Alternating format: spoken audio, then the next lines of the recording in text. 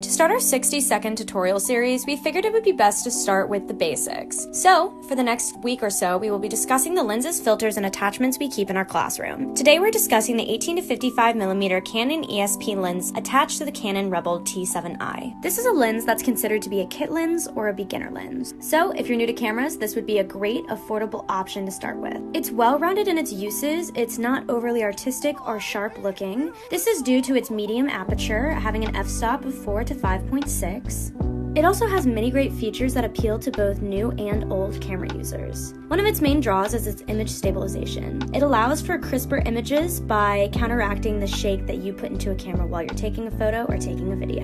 As you can see, it makes a world of a difference, and all you have to do is hit a switch. It also includes both autofocus and manual focus. Although there is so much more to this lens, the best way to figure it out is by going out there and using it. So, pick up your camera and let's see what you got.